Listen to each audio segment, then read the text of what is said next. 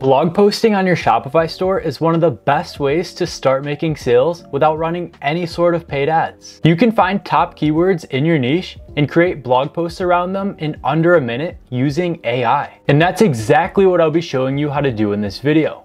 Create Shopify blog posts to get your products in front of paying customers who are already searching for keywords within your niche. So remember to drop a like and subscribe for more. My name's Alex if you're new, let's get right into it. The app we'll be using in this video is called Boardroom. Boardroom helps you identify top keywords within your niche and use AI to generate blog posts around them so that you can rank higher on search engines and generate more sales. To get started, we'll go over here under AI tools and we'll select keyword research. Right here, you wanna type in a keyword that's relevant to your niche. We'll type in snowboard and we'll click generate. So it's going to show you all the top keywords within your niche, as well as the monthly search volume, the estimated cost per click, the level of competition, and the SEO ranking difficulty. You guys can go through and save some of these keywords to reference later. And if you guys scroll down, you can see all of your saved keywords down here. Let's pick a keyword from over here and generate a blog post around it. You guys can see that snowboarding gear right here is getting over 18,000 monthly searches, so that'd be a great keyword to start with. Go over here to the right hand side and select create a blog post. So to generate your blog post, you're gonna start by filling in these prompts right here, the topic of your article, the title, the primary keyword, your desired word count, as well as the tone that you would like AI to use.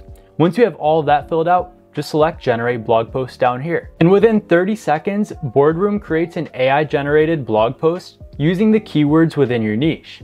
You guys can read the entire blog post down here. And if you keep scrolling down, you can open the SEO editor and it's going to give you an SEO score that you can see displayed right up here at the top. You guys can also see some suggestions if you want to increase your SEO score. We're just gonna select input right here and we're gonna create a meta description so that we can rank higher on search engines. You guys can write it with AI just by clicking this button right here. We'll refresh our SEO score and you can keep making these improvements down here to keep increasing your score. You guys can edit your blog post over here and make any changes that you would like to.